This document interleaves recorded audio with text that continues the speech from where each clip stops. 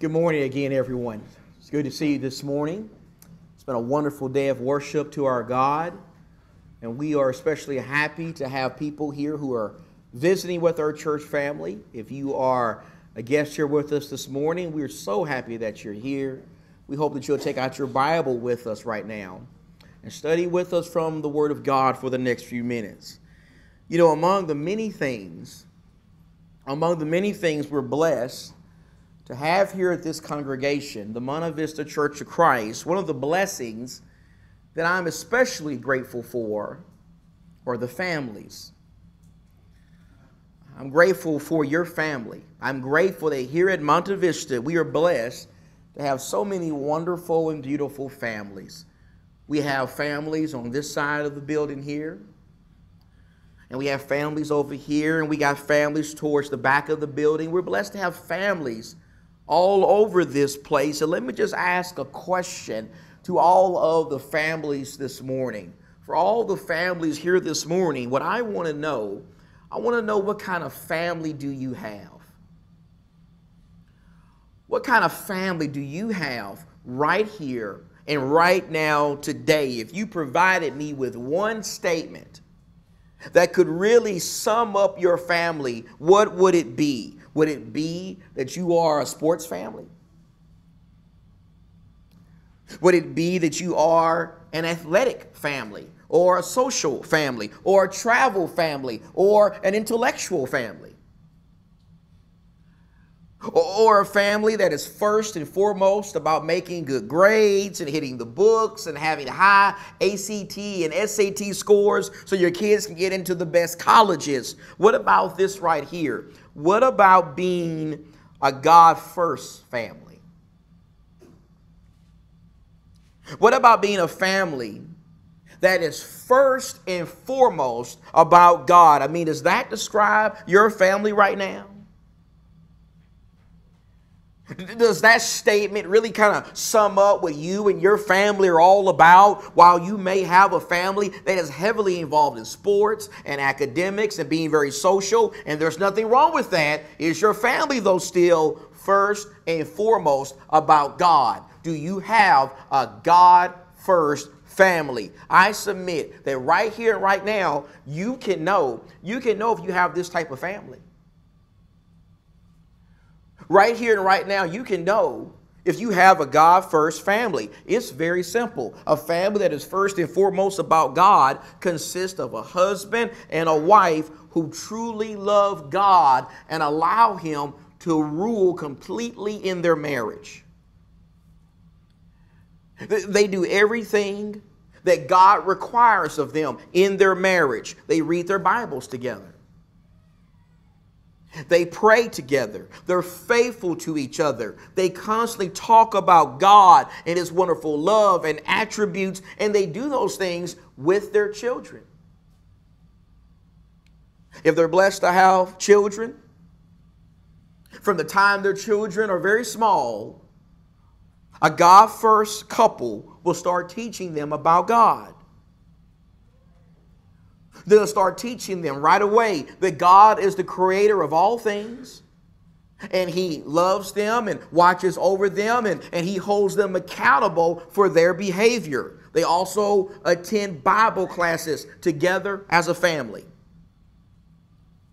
And they worship God together as a family. In fact, they make worshiping God our priority all the time. They make worshiping God something that comes before sports and social events and school stuff and worshiping God is even something that they do while on vacation.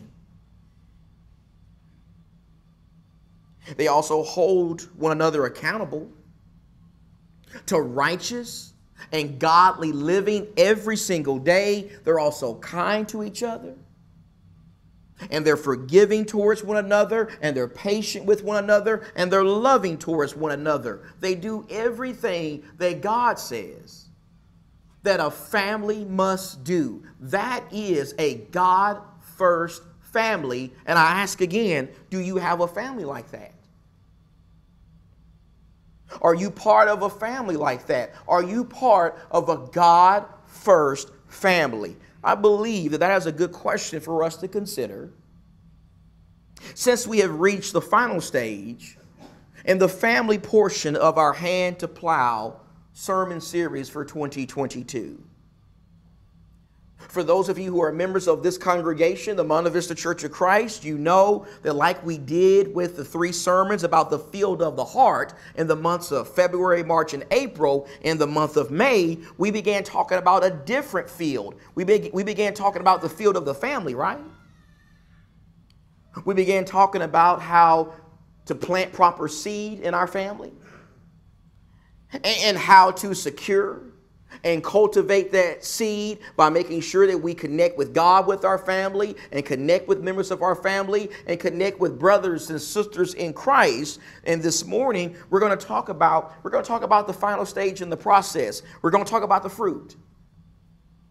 We're going to talk about the produce. We're going to talk about the produce and the blessing of having a God first family when we do all the different kinds of things that we've been talking about for the last couple of months. You see, if we do the kind of things that we've been talking about in the months of May and June, the produce from that, the result of that is going to be a God first family. It's going to be a family that is first and foremost about God and his son Jesus Christ and the Holy Spirit. You see, that kind of family, a God first family, has the potential to impact so many different kinds of people. For example, a God first family has the potential to impact the children. It has the potential to impact our children. Again, here at Monte Vista, we're blessed to have so many, so many children. A lot of congregations are blessed in that way. We're blessed to have children here. We have children as young as a few days old, all the way to seniors in high school. We got a couple of others on the way. We got a bunch of children all throughout this congregation. And I'm pretty sure that when it comes to all the parents of those beautiful children, we, we all want the same thing, right? As parents, we all want the same things for our children. The main thing we want for our children is we want our children to serve Jesus, right? We want them to love Jesus, to fear Jesus, to do the things that Jesus wants them to do. We want them to eventually grow up and be, grow up and become strong soldiers of Jesus Christ and go to heaven to be with him for eternity. That's what I want for my kids, and I know that's what you want for your kids. And while there's no way we can guarantee that outcome for our kids, one of the things that a God first family does is it provides them with the best chance. It provides them with the best opportunity to become what we want them to become spiritually. That's what Moses told the Israelite parents all the way back in Deuteronomy chapter 6. I'm going to ask you to go in your Bible, please, to Deuteronomy chapter 6. I know we've been considering those passages for quite a bit over the past couple of months, but let's consider them one more time for the purpose of this lesson. We're going to Deuteronomy chapter 6, please, and look at verse number 4. We're listening to what Moses, the man of God, the prophet of God, what he said to the Israelite parents not long before the people of Israel would finally be blessed by God to conquer the land of Canaan. In Deuteronomy chapter 6, beginning with verse number 4, Moses had some things he wanted these parents to understand. He said in verse number 4, Hear, O Israel, the Lord is our God, the Lord is one. You shall love the Lord your God with all your heart, and with all your soul, and with all your might, with every fiber of your being. Verse number six, these words which I am commanding you today shall be on your heart. Verse seven, you shall teach them diligently to your sons. And you should talk of them when you sit in your house and when you walk by the way and when you lie down and when you rise up. You should bind them as a sign on your hand and they should be as frontals on your forehead. You should write them on the doorposts of your house and on your gates. Notice what Moses is saying here to the people of God. Notice how as he rehearses the will of God for his people, he emphasizes here the need for them to develop and maintain God first families. Moses is talking about God first families in those passages. According to Moses, God first families are families who put God first, not just some of the time, but all the time. All the time they're about God. All the time they are about thinking about the law of God and talking about God and teaching God's will and studying it with their children. This is something that the Apostle Paul echoes when we get to a New Testament passage like Ephesians 6 and verse 4. Ephesians 6 and verse 4. Fathers, notice that language. Fathers, do not provoke your children to anger, but bring them up in the discipline and the instruction of the Lord. Here, the Apostle Paul, the Apostle Paul is doing the same thing as Moses. The Apostle Paul is talking about God first families. He is saying that God first families are led by God first men. They're led by God first fathers. They're led by fathers who put God first with their children. They're led by fathers who put God and His Word as a priority with their children over sports and, and fun and even academics. They're led by fathers who use the limited amount of time they have with their children in the home to influence them to put God where He belongs, and that is at the very core and center of their hearts. I submit that when children grow up in a setting like that, when they grow up in a family like that, it's going to impact them.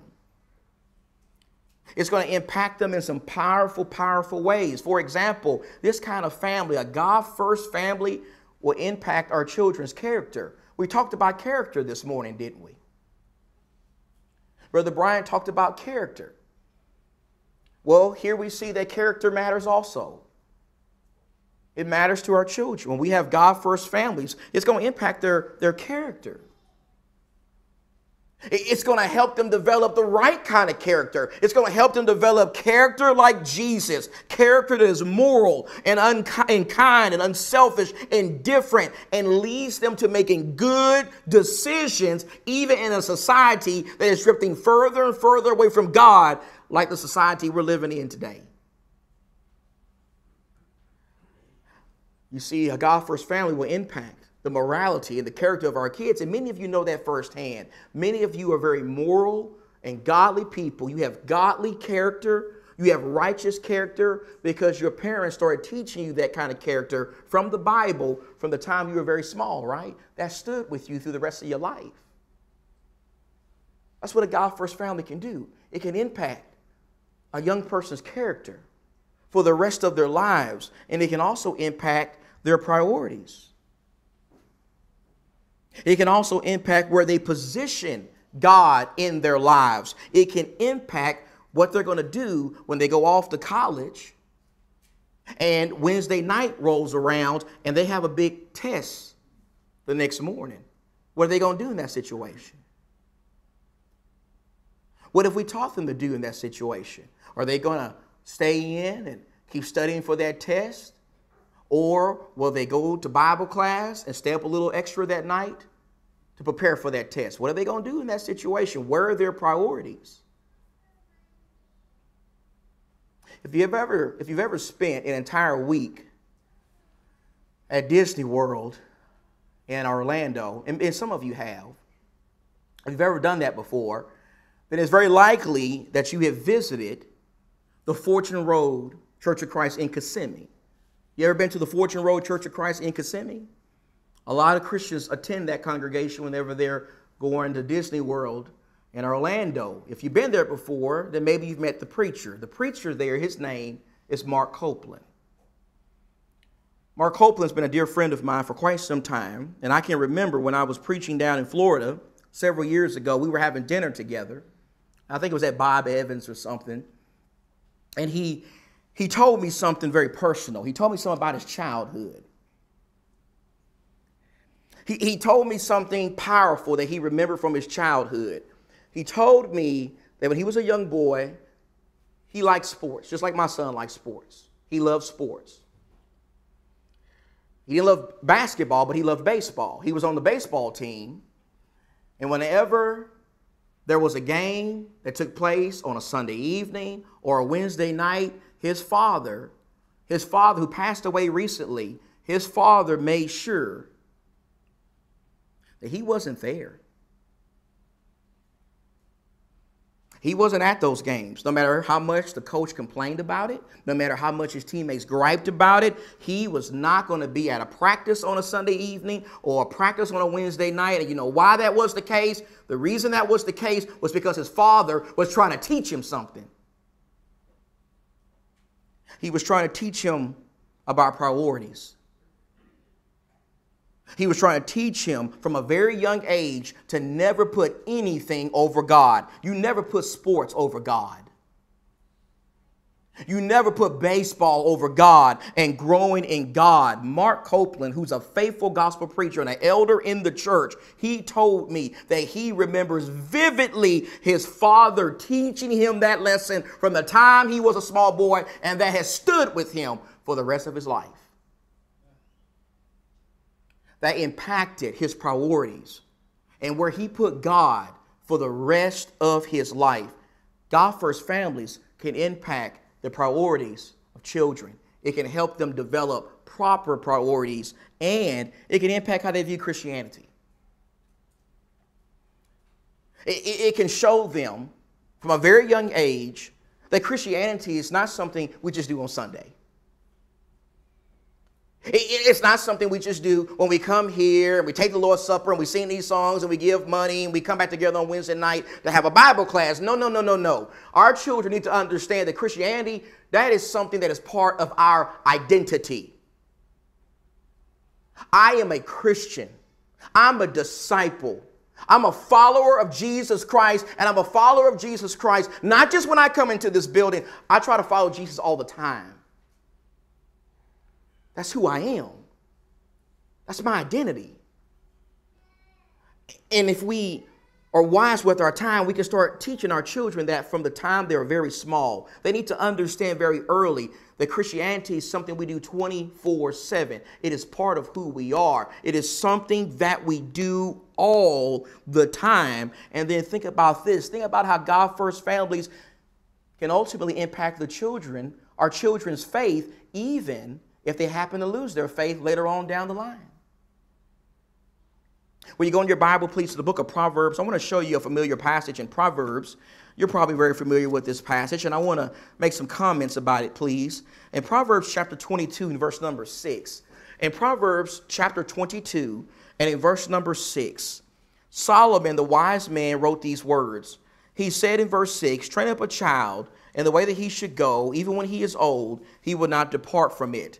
Now, for us to really be able to appreciate a verse like that and not panic when we read a verse like that, I think it's important that we pause and remember what the Proverbs are.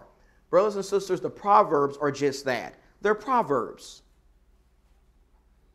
They are general truths. They are not absolutes. They are not guarantees. There is no guarantee that as parents, if we do everything we're supposed to do, if we bring our kids to church, if we bring them to every Bible class, if we make sure they go to FC camps and, and we study with them and we pray with them and we help them pick good friends, there's no guarantee that if we do all that stuff and so much more, they're going to remain faithful to God. There's no guarantee of that.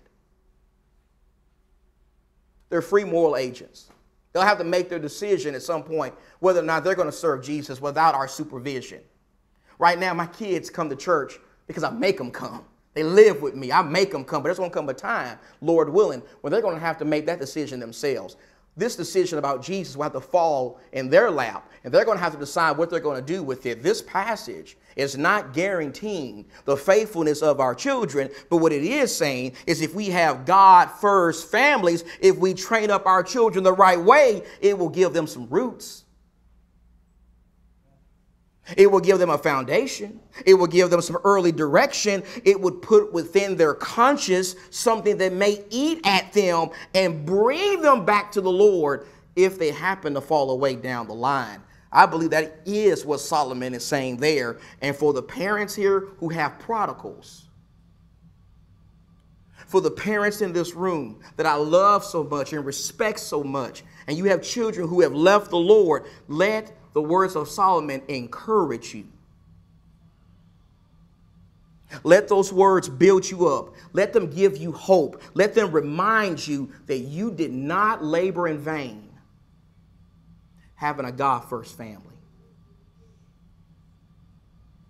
a God first family will impact our kids. But not only will it impact our kids, let's also point out how they will impact the church. Particularly, they'll impact the local church. Go in your Bible, please, to Acts chapter 2. We are beginning this week our reading of the book of Acts, and I'm so excited about the book of Acts. I know you hear preachers say this all the time. This book's my favorite book. That book's my favorite book. You probably heard me say every book of the New Testament is my favorite book, but I really mean it this time. Acts is my favorite book in the New Testament. And I'm going to Acts chapter 2, and you remember in Acts chapter 2, in Acts chapter 2, after Peter preached this powerful sermon about Jesus and he told the people to repent and be baptized, in verse number 41 it says, So then those who have received his word, verse 41, so then those who had received his word were baptized, and that day there were added about 3,000 souls. So notice how the church begins with 3,000 people. That's a lot of people. But look at chapter 4 and verse 4. Just two chapters over, in chapter 4 and verse 4, it says, But many of those who had heard the message believed, and the number of men came to be about 5,000. Now, that word men you see there comes from the same Greek word that you found back and Luke, in Luke chapter 9, when it talked about 5,000 men that Jesus multiplied bread for, not talking about in the generic sense, talking about adult males. Adult males. There are 5,000 adult males in the church by this time. That's not counting women and children who also are disciples. Could have been as many as 15 or 20,000 people in the church at Jerusalem at this time. But now look at Acts chapter 8 and verse 4. Look at Acts. In fact, let's start with verse number three. After the death of Stephen, one of the first deacons in the church, in Acts chapter 8 and verse number 3, the Bible says, But Saul, this is Saul of Tarsus, who will later go on to become the Apostle Paul. Saul of Tarsus began ravaging the church, entering, notice, house after house and dragging off men and women, and he put them in prison. Now look at verse 4. Therefore, those who have been scattered went about preaching the word. So notice how the church is growing and it's growing and it's growing. You've got thousands of people in the church. And Saul of Tarsus tries to destroy the church. He starts persecuting the church. He, he forces Christians to leave the city of Jerusalem. Now, here's my question Are we to believe that only adults were involved in what this verse is saying? Are we to believe that only single Christians or only Christians who were, who were married, who were couples, were forced out of Jerusalem at this time? Of course not. Uh, of course, in addition to single Christians and, and Christian couples, there were also families forced out of Jerusalem. There were also families like the families in this room who were forced to leave their homes and leave Jerusalem due to persecution, and yet these Christians continued to do evangelism. They continued to spread the word of God. They did even with their families, if families were involved in evangelism 2,000 years ago. In fact, beyond evangelism, look at Acts chapter 21, please. Look over Acts chapter 21 and listen to what the Bible says here as the Apostle Paul is traveling with Luke on his way to Jerusalem with this contribution for the needy saints. It says in Luke chapter 21, and look at verse number 4. In verse 4, after looking up the disciples, Luke says, We stayed there seven days, and they kept telling Paul through the Spirit not to set foot in Jerusalem. When our days were ended, we left and started on our journey while they all, now look at this, with wives and children, wives and children escorted us until we were out of the city. After kneeling down on the beach and praying, we said farewell to one another. Then we went on board the ship, and they, the families, returned home again. Look at verse 7. When we had finished the voyage from Tyre, we arrived at Ptolemais, and after greeting the brethren, we stayed with them for a day. On the next day, we left and came to Caesarea, and entering the house of Philip the evangelist. This is the same Philip who preached to the Ethiopian eunuch. Philip the evangelist, who was one of the seven, we stayed with him. Now, this man had four virgin daughters who were prophetesses. And as we were staying there for some days, a prophet named Agabus came down from Judea. So, notice in these verses here, we find families, God first families impacting the local church beyond evangelism. We find them in verses 4 through 6 encouraging people, encouraging the Apostle Paul, encouraging Luke, encouraging preachers of the gospel. And then in verses 7 through 10, we find God first families engaging in hospitality. That's what Philip and his four virgin daughters who were prophetesses did. They are doing God's work as a family. Now go to Acts chapter 14. Look at Acts the 14th chapter, verse 23. And Acts the 14th chapter in verse 23. The Bible says, when they had appointed elders for them in every church, having prayed with fasting, they committed them to the Lord in whom they believed. So notice how 2,000 years ago, local churches were looking just like this church. They had elders. They had elders. They had men who were shepherding the flock of God. They had pastors, men who were leading the people of God. Now, here's my question What is one of the key things necessary for a church to have, which you find in verse number 23? What is one of the key things that is necessary for a local church to have qualified leadership, to have elders? Where according to what we find in 1 Timothy chapter 3 and in Titus chapter 1, if you're going to have qualified men to be elders in the church, then you got to have men with families.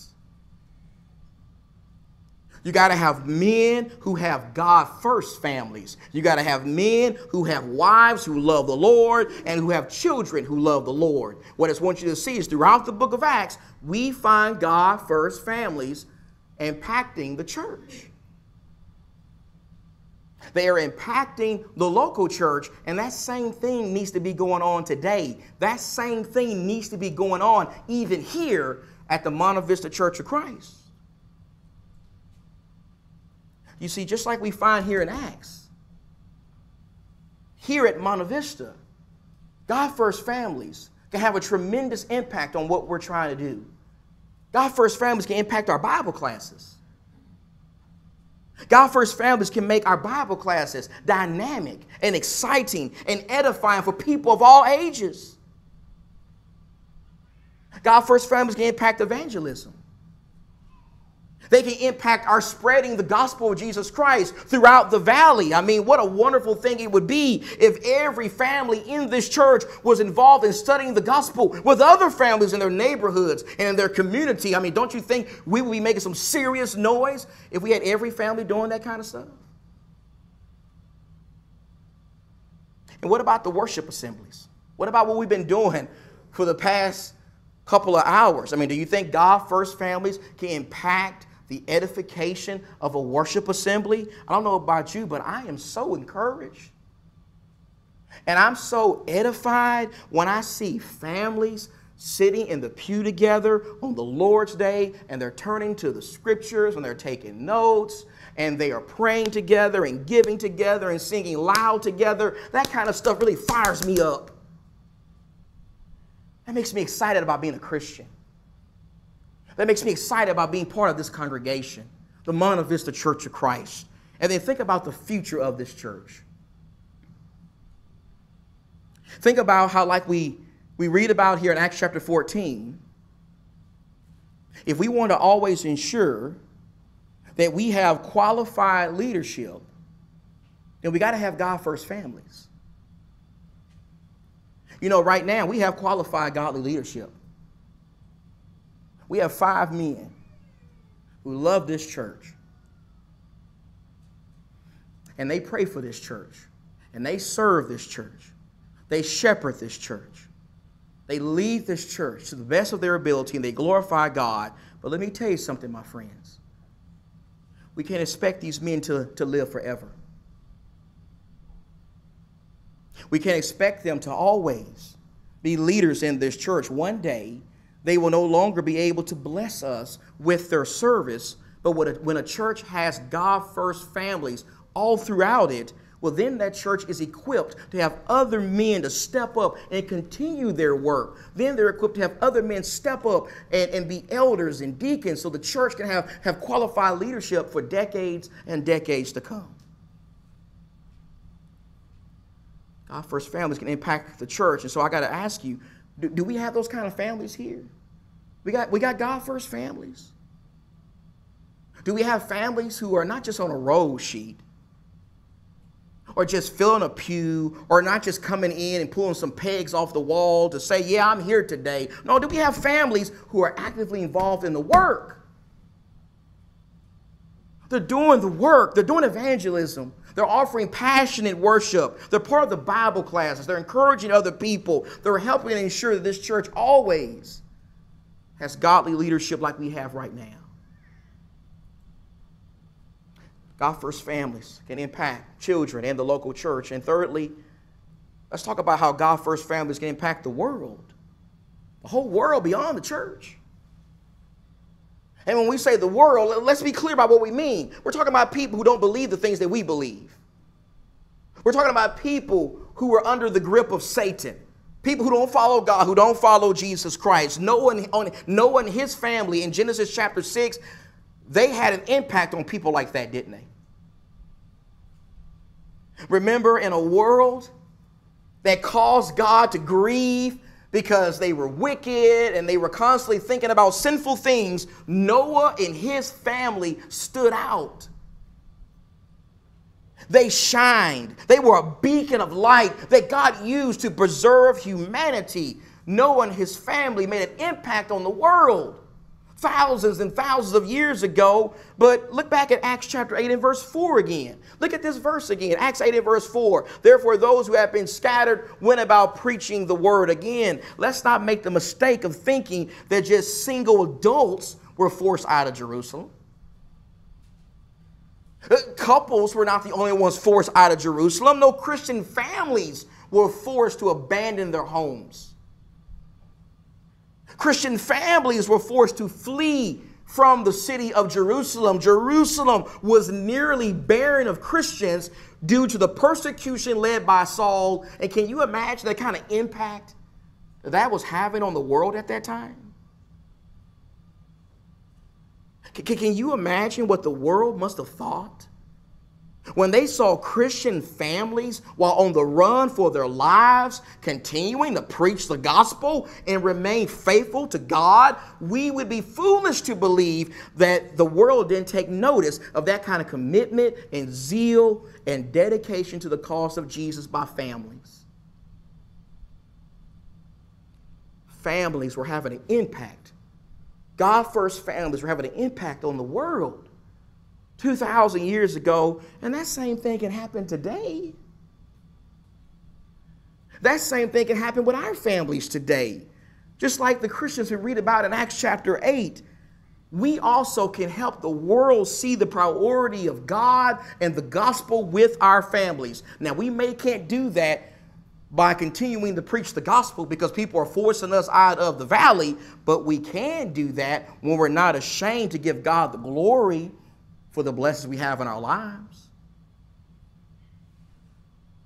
We can do that when we're not ashamed to pray with our family. Before eating a meal at a restaurant, we can do that when we're not a, afraid to tell our friends, no, I'm not going fishing with you on Sunday morning. I'm not going camping with you on Sunday morning. I am not going to be at that baseball, soccer, or basketball practice on Wednesday night because me and my family, we're going to Bible class. We're going to worship God. And we can also do this when the world comes through those doors. And we greet them. And we're nice to them.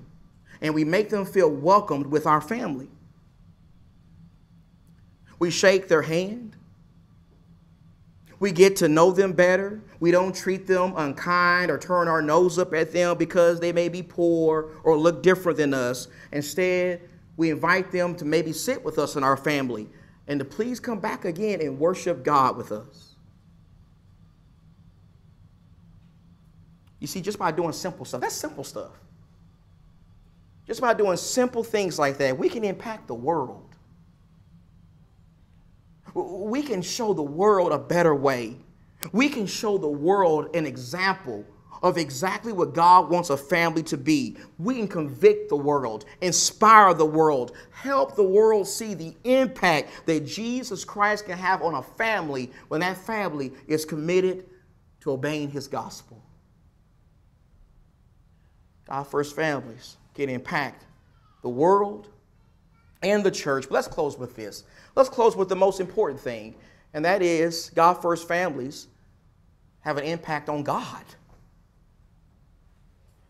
They have an impact on our God. Our God is the one who created the family. You know, as I look around the room this morning and I notice all of these beautiful and amazing families that I'm blessed to stand before, I think we need to remember something. I think we need to remember who created what you see right now.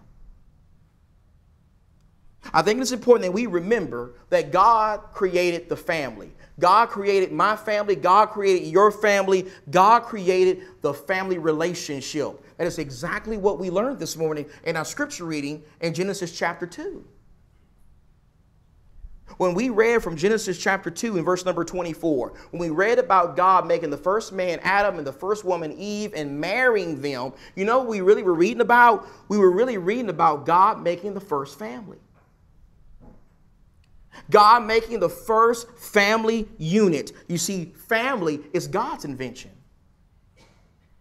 Family is God's creation, not ours. And as God looks at our culture and our society and what they're doing to his creation, how do you think he feels about that? How do you think God feels when he notices what our culture is doing to his invention? How do you think that impacts him? How do you think that impacts him emotionally? How do you think God is impacted emotionally when he desires permanency in marriage, but over half of marriages in this country end in divorce every single year? How do you think God is impacted by same sex marriage? How do you think God is impacted by children being raised by two fathers or two mothers instead of a mother and a father like He designed to be back in the beginning?